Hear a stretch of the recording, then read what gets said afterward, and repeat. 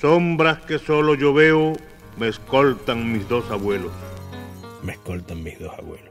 Es una frase del, de balada de mis dos abuelos de Nicolás Guillén y ha sido la frase que hemos escogido para el evento.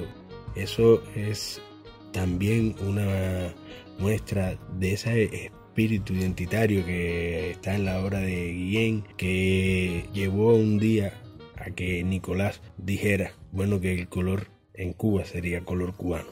También hemos hecho un guiño a los escritos periodísticos de Guillén en la columna Pistos Manchego. Está dedicado el, el coloquio. Y además está también dedicado, aunque no aparece en, el, en la convocatoria, a la obra de amor de Guillén. Con ustedes, Indira Pavón Sánchez, en colaboración con Alain Argote Espinosa en la edición para Radio Enciclopedia.